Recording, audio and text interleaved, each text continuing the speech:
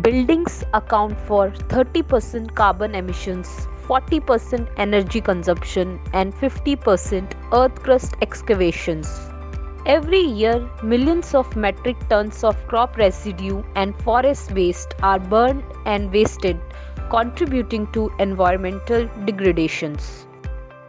In Himalayan state of Uttarakhand, a startup from IIT Roorkee, GoHemp is collaborating with local farmers collecting hemp and other crop biomass, which is then processed and mixed with lime based binders and casted into building insulation block using press machine.